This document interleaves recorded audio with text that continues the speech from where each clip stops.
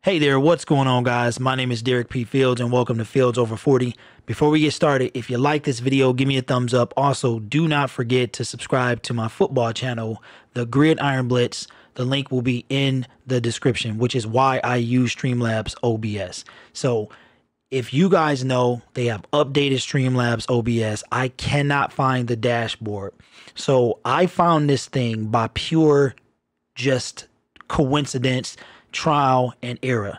So this is the way thus far with the new Streamlabs OBS update that I have figured out how to get to your dashboard, aka your widgets and things like that. So the first thing you have to do is you go to this little uh, live feed right here, whatever this thing is right here with the three lines and the dot. You click on live. Up here, this is something new.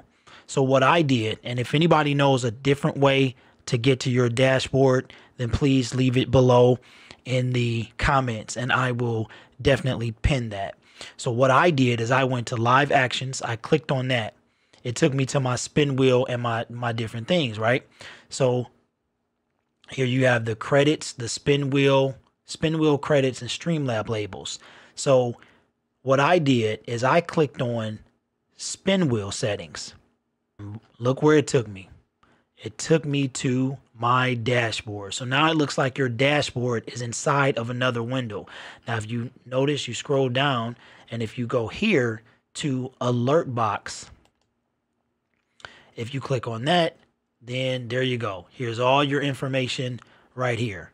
Anyway, guys, I hope this video helped you find your dashboard. And if anybody knows a different way, please let me know. And also, don't be mean on this video. I tried the best. I figured I would put this out because of this point right now, September the 5th, 2019, I have not seen one video that tells you how to do this. So, anyway, guys, my name is Derek P. Fields. Please subscribe to not only Fields Over 40, but check the description for the Gridiron Blitz. And I hope you guys have a great day. Thank you so much.